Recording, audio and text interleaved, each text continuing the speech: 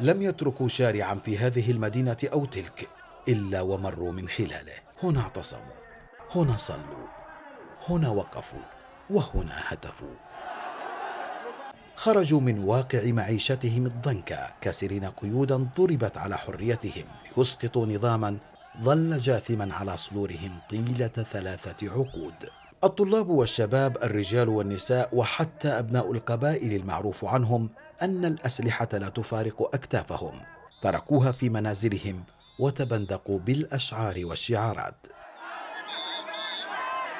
واجهوا رصاصات العساكر بهتافات الشاعر وهزوا عرش الطاغية بأغنية وقافية. الساحات التي اتسعت لكل فئات المجتمع الفلاحين والطلبة والعمال والمحامين والأطباء والشرفاء من أبناء الجيش اتسعت أيضا للشعراء والفنانين. فلم تكن الثورة مجرد تجربة عابرة بالنسبة لهم بل كانت القضية والملهمة. فكتب الشعراء قصائدهم على صفحاتها وعزف الفنانون أنغامهم على أوتارها وزين الرسامون بألوانهم جدرانها. الثوار الذين ملأوا هذه الساحات أيضا ما زالت هتافاتهم في شوارع المدينة رغم مرور سبع سنوات على إطلاقها عالقة في ذاكرة الأماكن.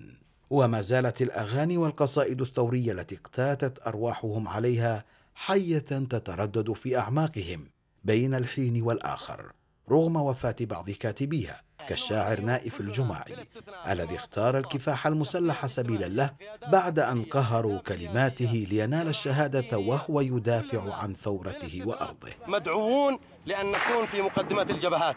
هذه حربنا. كما ما زالت أغنية ثورة ثورة يا الشعوب الحرة حرة تحلق في ذاكرة الثوار رغم بقاء مغنيها الفنان صالح المزلم في المعتقل حتى الآن.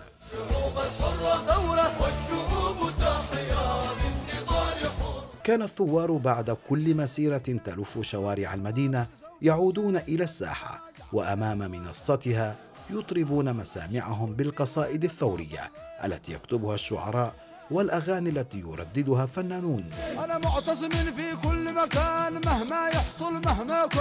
معتصمين معتصمين ليخرجوا في اليوم التالي وقد جددت القصائد والأغاني الثورية عزمهم ومنحتهم املا ألا يتوقفوا إلا وقد أسقطوا النظام.